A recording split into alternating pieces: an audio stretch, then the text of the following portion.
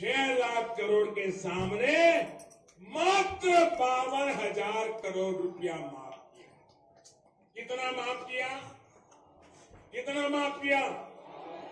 कितना माफ़ किया?